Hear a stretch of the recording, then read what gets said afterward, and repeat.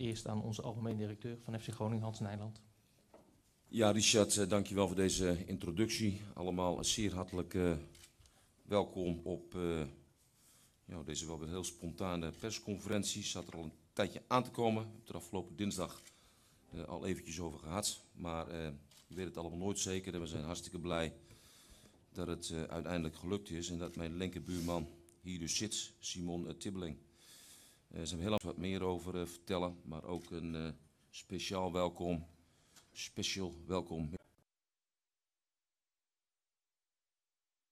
Ja, oké. Um, ja, heel bijzonder. Um, Simon Tibbeling, 20 jaar oud, uh, speler van Jukaren IF. Uh, er heeft al heel veel over in, uh, in de media gestaan. Maar ik kan u vertellen, en daar zal Peter Jeltema straks uh, redelijk uitvoerig op ingaan, dat we eigenlijk al heel, lang uh, bezig zijn om deze speler, deze jonge man, dit talent naar, uh, naar Groningen te halen. Het is in ieder geval zo dat uh, Henk Veldmaat en mijn persoontje de afgelopen zomer ook al in Zweden zijn geweest. In Stockholm hebben onderhandeld met uh, om te proberen Tibbelen bij aanvang van dit seizoen al naar Groningen toe, toe te halen. Hadden we redelijk scherp toch op, op ingezet. Maar dat lukte toen niet. Om het simpele feit, Djukaren wou hem toen nog niet laten gaan. Men was nog niet helemaal veilig in de competitie. Degradatie dreigde enigszins. Uh, gelukkig is dat allemaal uh, goed gekomen, maar een transfer was toen, behoorde toen in ieder geval niet tot de mogelijkheden. Uh, maar goed, we zijn contact blijven houden met, met Simon en eigenlijk ook met, met de club. Ik moet zeggen, Bosse Andersen, de directeur van uh, een zeer plezierig iemand. We hebben een uitstekende relatie mee hebben opgebouwd. En Peter Jeltema, mijn persoontje, zijn vorige week andermaal afgereisd naar de Stockholm. Dat was vorige week donderdag. En toen hebben wij uh, smiddags uh, in het stadion hebben wij, uh, uitgebreid met deze club onderhandeld. Nou, dat was de eerste keer dat onze technische manager Peter Jeltema een dergelijke deal mocht doen. En nou ja, toch wel heel bijzonder. Hè? Je bent gewend om dat altijd te doen met, samen te mogen doen met Henk, Henk Veldmaat. En nu mag je dat dan samen doen met, met, met Peter Jeltema. En dat, ja, dat ging hartstikke goed kan ik u verklappen. Dus Peter, een compliment. Dat ging echt door, kan ik u zeggen, tot het laatste, werkelijk het laatste dubbeltje toe. Kan er nog een leuk aan.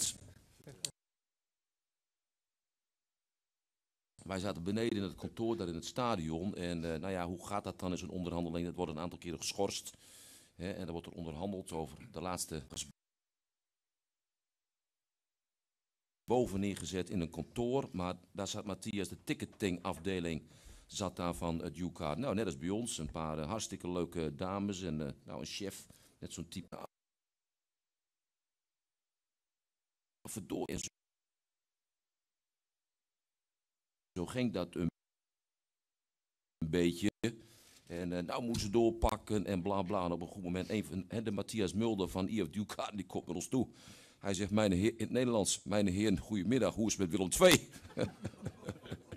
Nou, bleek dus, het was een voormalige ijshockeyspeler die nou dus werkte bij, uh, bij, uh, bij het UCAN. Maar uh, in ieder geval, we hebben die middag daar, daar eigenlijk al, of in grote lijnen, de deal gemaakt met, met de club. En samen maken mee.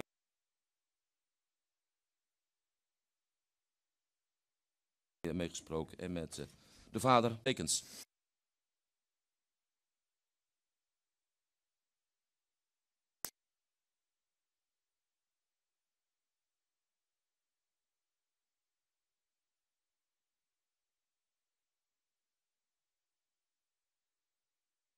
Liet alles, alles lopen. Maar voorlopig is vakantie. 4,5 jaar getekend. U bent van ons gewend dat wij nooit moeilijk doen over het uh, transferbedrag. Echter, in dit geval heeft uh, Jukaren uh, ons gevraagd om dat, uh, om dat niet te doen. En als uh, mensen ons dat uh, netjes en beleefd vragen, dan, nou, dan houden wij ons aan de afspraken. Hè. Zo bent u dat ook van ons gewend. Nou, dat is het, uh, althans wat ik uh, uh, voorlopig te vertellen heb. We zijn er hartstikke, tweede keer eigenlijk al dat we hartstikke trots zijn deze week. Een mooie week. En die gaan we zondag ook heel mooi afsluiten in, uh, in Enschede. Ik geef graag het woord aan technisch manager uh, Peter Jaltema. Ik kom straks nog even bij u terug. Ja, volgens mij krijgen we een kort uh, intermezzo. Ja, voordat we naar Peter gaan luisteren, hebben we uh, um, wat niets is mooier dan een voetballer aan het werk zien. Een kort introductiefilm van uh, Simon Tibbling.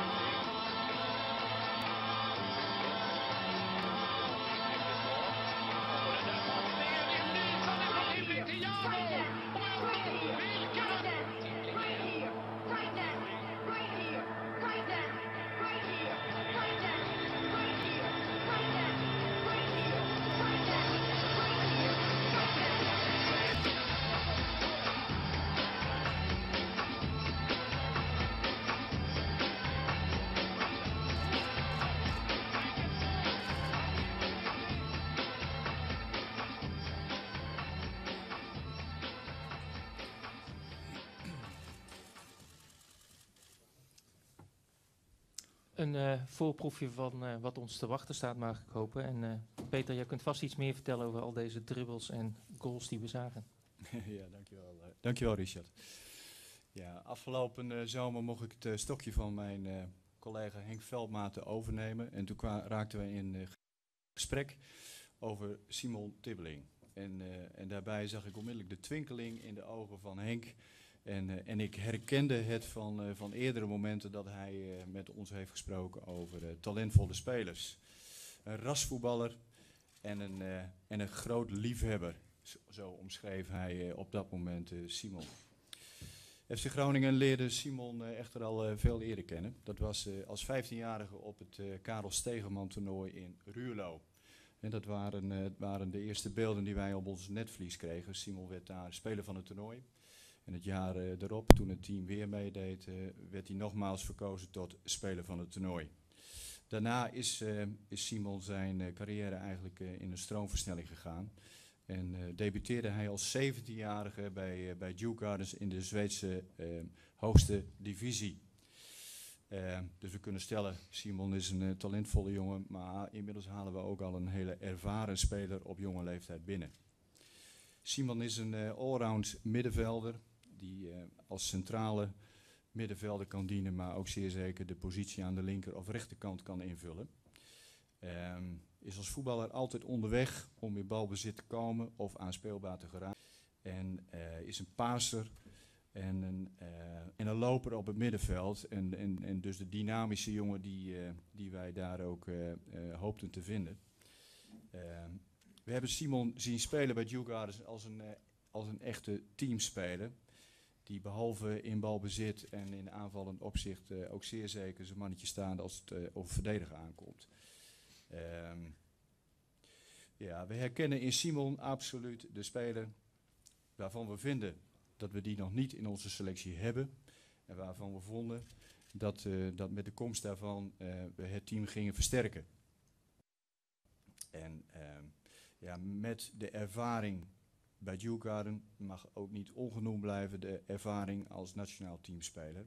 Op dit moment eh, samen met Dino bespelen van, eh, van het eh, onder 21 team. Ehm, wat ja, zeer succesvol is en, en komende zomer wel in Tsjechië mag, mag deelnemen. Daar waar wij het stokje even moesten overgeven als, als nationaal team. Dus er staat hem volgens mij ook nog een mooie zomer te wachten.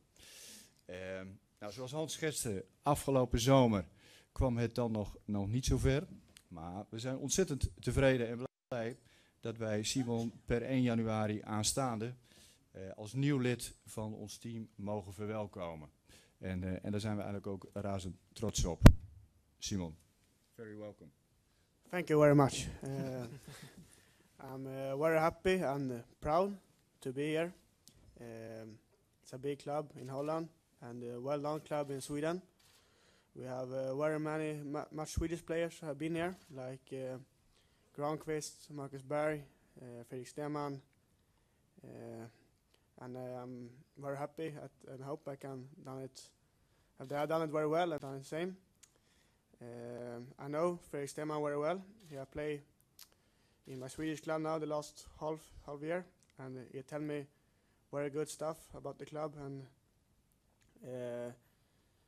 now Dino too. We have played uh, together in the national team from 15 to U21, and he's a very good friend. And he also tell me much about the club. It's a it's uh, really.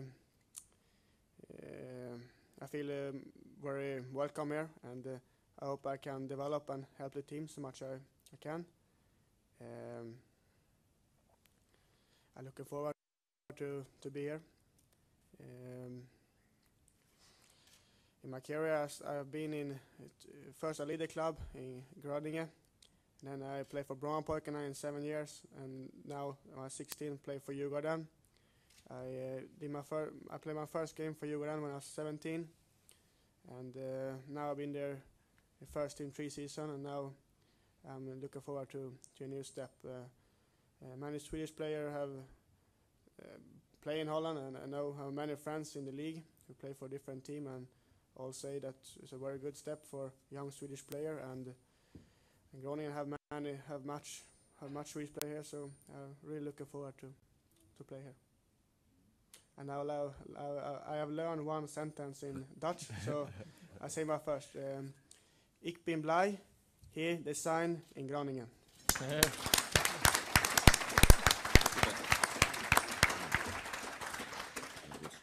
well done, Simon. Um, we have some questions later on, but first we're gonna do the contract and things like that.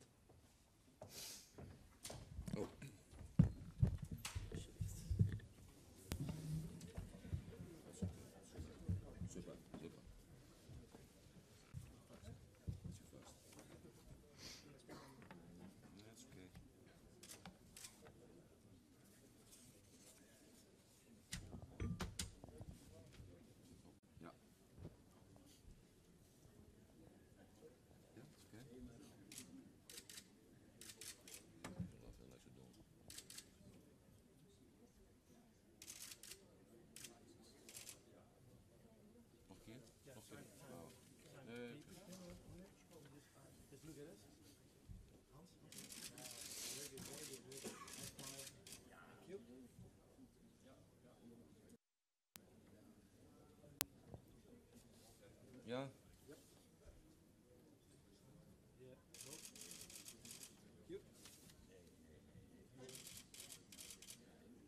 Oké.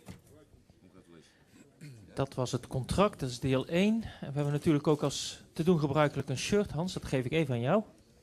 Geef die telefoon terug. Ja. Oh, wacht, wacht. Oh, dat moet hier even mee? Ja, en dat gaan we even wat anders doen dan, eh, dan anders. Ik wou graag eventjes naar voren halen, ehm, naar voren roepen. eh, onze oudspeler en star, een van de beste spelers ooit bij Groningen gespeeld, Piet Fransen. Ehm, niet dat we nou Real Madrid zo nodig na willen doen, maar wij vonden het leuk en bijzonder om Piet dit shirt te laten overhandigen. Eh, eigenlijk ook om het volgende. Piet is niet helemaal fit geweest de afgelopen periode. Heeft in het ziekenhuis gelegen. Maar ik kan u geruststellen, hij is gedotterd en het gaat weer prima met hem. En daarom is het leuk dat Piet dit gaat doen. Piet, succes. Het mag in het Nederlands. Hé hey jongen, jij zei net, ik ben blij in Groningen. En ik ben blij dat je in Groningen gekomen bent.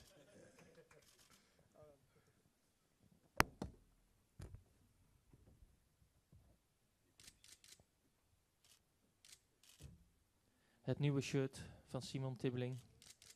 Hij gaat rugnummer 22 dragen vanaf 1 januari 2015.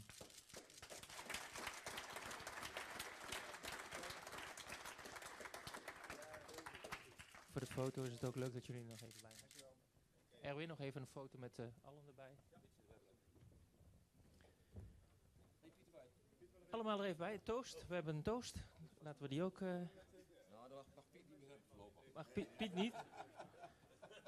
Peter wel. Even het glas erbij. Waar zijn de andere twee glazen?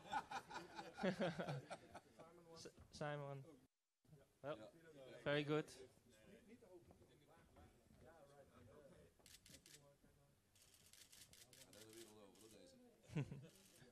Dames en heren, nog graag één keer een applaus voor ook Piet Fransen, maar ook Simon Tibbeling.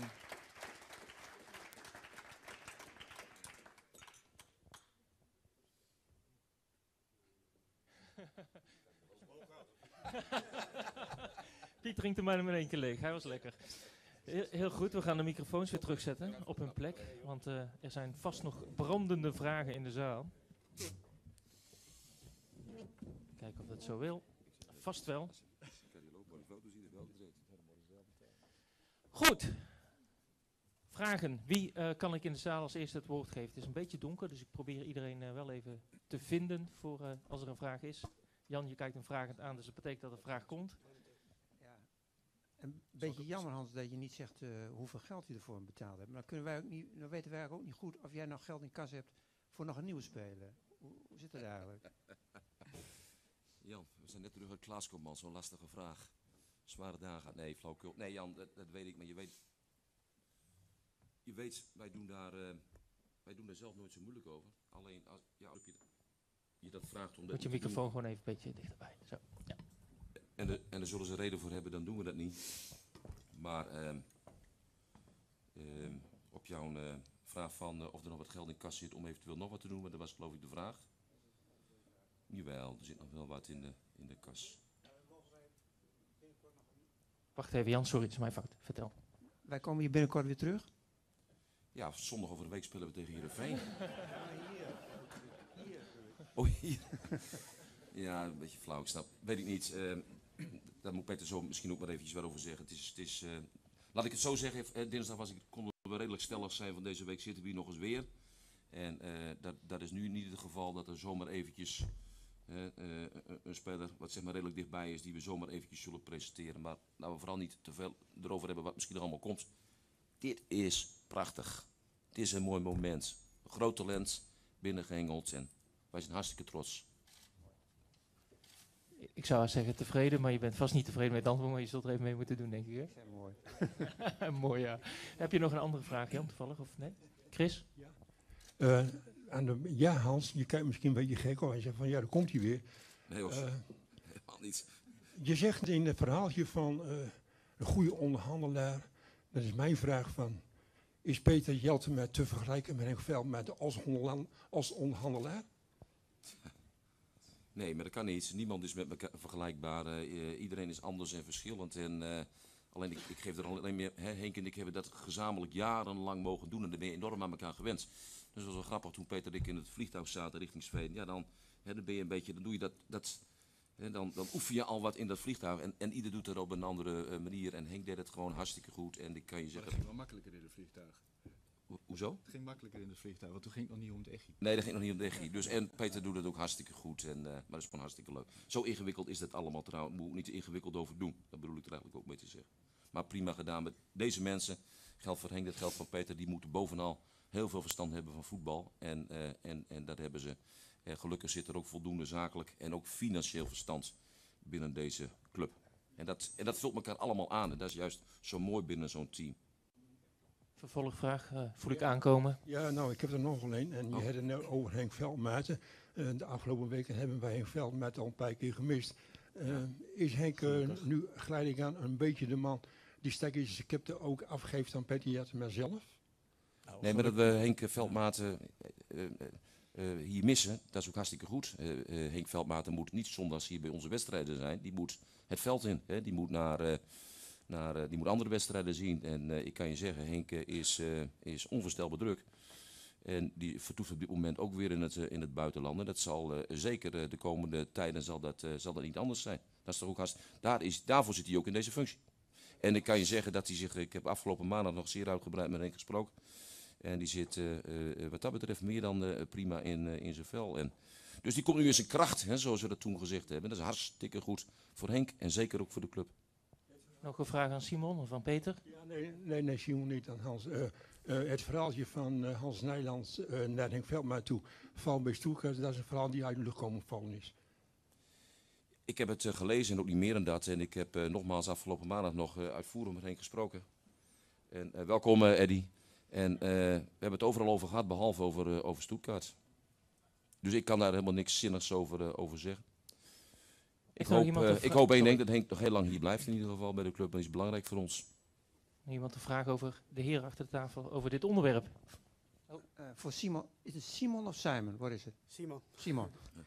Uh, you're an all-round midfield player. Eh? What's your favorite position on the midfield? Yeah, I think uh, six or eight is my favorite, but I think it's good if you can play on more positions. It's uh, more chances to get in a team. Sorry Jan. Yeah, I'm, Your right foot is your best foot? yeah, I'm right-footed. Yeah, okay. But you can kick a ball with left also. I hope so. we'll see, we'll see. Yeah. Any more, Jan? Eh, meer? Nee? Ja, ja. Iemand nog een vraag? Ik zag dacht ik, aan deze kant ook nog even een hand, even vluchtig, of heb ik dat gemist? Wim, jij kijkt nog zo van, zal ik, zal ik niet? Zal ik, zal ik even bij je komen, dan eh, kunnen we er nog een vraag aan toevoegen. Ik, ik zal langs die kant komen, dat is nog andere. Maar ik moet niet onder de boksen doorlopen, want dat is het probleem van dat geluid van dat piepen waar jullie last van hebben. Kijken of het nu goed gaat. Jij doet een beroep op mijn improvisatievermogen, want we weten eigenlijk alles al eh, van Simon. Hè. Het is niet een eh, surprise eh, aankoop, want eh, eh, ja, eh, he- heeft hij al een indruk gekregen van de stad Groningen? De- have you seen anything about the city of Groningen? Yeah, um, with the Peter today, and I was a little bit in with the bike yesterday, and um it's a nice town. I feel uh, uh, much bigger when I what I think and uh, what I thought, and uh, and many bikes. Uh, and uh, they bike, they're really good. They bike fast, so the top.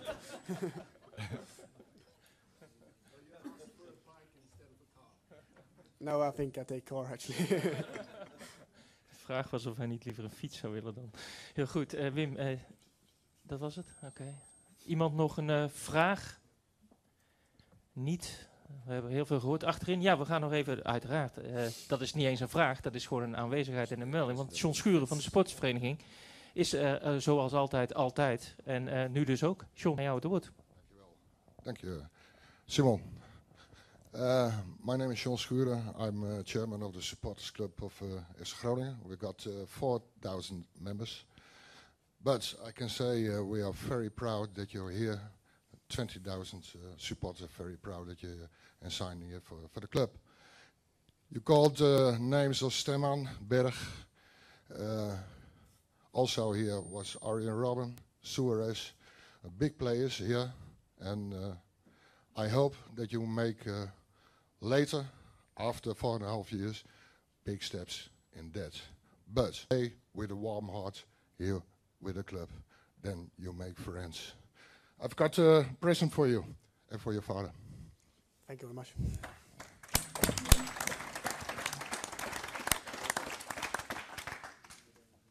Look at the book, The European Dream. And Mr. Tibbeling, maybe you can come over as well for your scarf. Janine, misschien ook een moment om de bloemen uit te delen. Hè? Ja, dankjewel. Mooi gesproken. Jij ook. John, hier is de vader. Oh, pas op. Bijna geen voorzitter van de sportsvereniging meer. Maar het loopt goed af, gelukkig.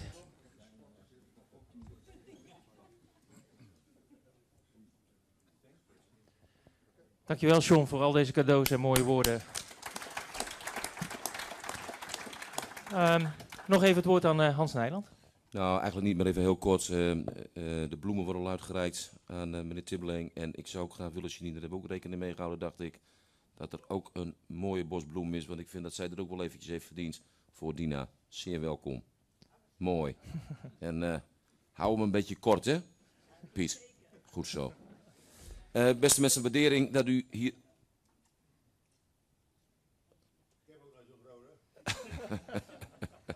altijd, altijd het laatste woord, Piet. Eh, geweldig dat u hier allemaal eh, was. Eh, tot- helemaal tot slot kan ik u nog melden dat wij met onze investeerders een prachtige trip hebben gehad naar uh, Glasgow. De laatste dagen is de wedstrijd uh, Glasgow-Salzburg gezien. 1-3, maar Celtic wel door naar de volgende ronde in ieder geval.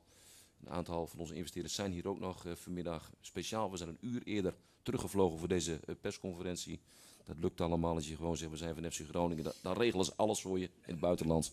Dat is hartstikke mooi. Ik wens iedereen eh, een, eh, een heel goed weekend. Ik wens onze staf, onze selectie en onszelf ook heel veel succes aanstaande zondag bij Twente.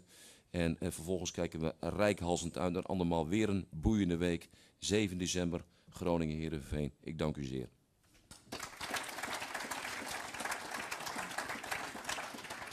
Tot slot nog even de huishoudelijke mededeling ter afronding voor de pers is dat van belang. We gaan nu eerst met Simon snel even